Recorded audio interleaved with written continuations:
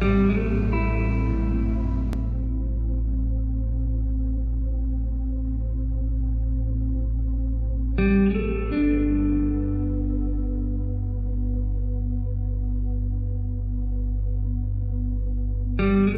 feel good. You know, our team's finally fully healthy. Um, where everyone's getting adjusted with each other. We're starting to learn the plays a lot better. We're chilling together on and off the court, so it's helping us a lot. Thinking about players that influenced me growing up as a kid, obviously Michael Jordan, everyone. But for me personally, it was Allen Iverson. And um, he was also a point guard, small point guard, uh, very hungry, very feisty, and that's the way I try to be when I play. Uh, so that's the reason why I chose number three. Simply lucky number seven. I wanted number 15 for the whole Vince Carter and all that. Oh, okay. Favorite player when growing up, but it's taken, so. It was actually my grandma's birthday, and it's the day she died too on the 13th. Okay. So I just chose that number off of that. So you're getting uh, your teammate Ty back for the second half. Huge. How about that? I've always liked playing with Ty. Big defensive guy. Makes it, it makes all of our jobs easier. Yeah. Blocking shots, defensively, he's best in the country, in my opinion, in that position. I remember recruiting Tyrone uh, as a 17-year-old kid, and uh, always a very humble young man. Um, but his four years at Humber, like um, you know, this semester he broke, well, he established a record that hasn't been established. And there's been some great players here at Humber. You know, the 500 points and the 500 rebounds just shows the versatility of Tyrone as a, as a player. On defense, like I talk with my team, make sure everybody is intact as one, because that's how you win games. You always got to be a team player. Everyone's all got to be on the same page. So tonight you guys are gonna be playing Sheridan, which is a huge game, huge rivalry game, fighting for first place. Uh, a lot of energy that goes into that. What's uh, school life like? Trying to, trying to, you know, gear up for that, but also make sure you're focused on studies. This whole second semester is a redemption for us because obviously we didn't start off the season as we would like, but it's just a collective. The unity of this group second semester is way different than it was first semester. So we really trust each other, right? And me and CJ being in the same program for the first years, because rec and sport management, they're the same thing first year.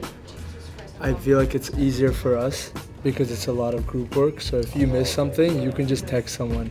It's harder for this guy, for sure, because there's a lot less group work. So I can't speak for him, but You know, if you're not there for one class, then you really miss a lot of content. Yeah, and that's that's got to be hard with all the practices, games, No, definitely. whatnot. And the weight trips. I feel like yeah, my course load is a lot heavier. I feel like um, it's still the same six courses a semester, and obviously all my classes are two hours and forty minutes long, like lectures or whatever. And so if you miss something, it's kind of hard to catch up. But obviously it's a lot about networking and having a lot of people that yeah, message if you miss anything.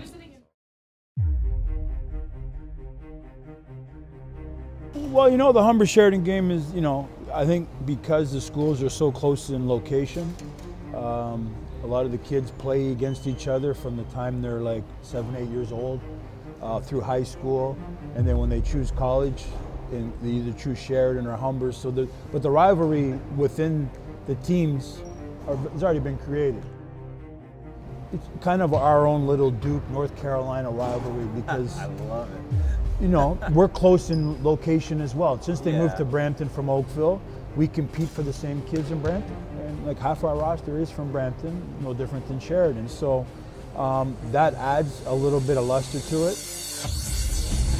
Uh, when the teams are, are competing for something like for first place, like it is tonight, or a national ranking, which both teams are ranked very high right now, it just adds to the game. But the game really doesn't need to have anything added to it. It's already a pretty good game in its own right, and it's usually the most attended game because the fans from both sides come to both gyms.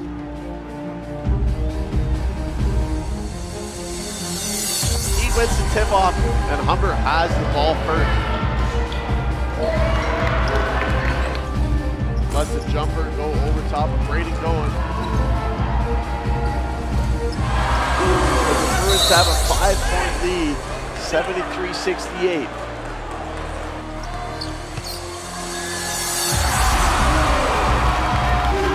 A minute left in this fourth quarter. And gets it at him, but he turns it over. Transition, finishes. Right down to the last second. Five seconds, five seconds has been called against the Sheridan Bruins. Hands it off to Martin. Hawks need to go score the basket. They turn it over temporarily. Oh boy, they turn it over. The Bruins have possession. Shot off Martin needs to shoot it, and he's not aware of how much time is left.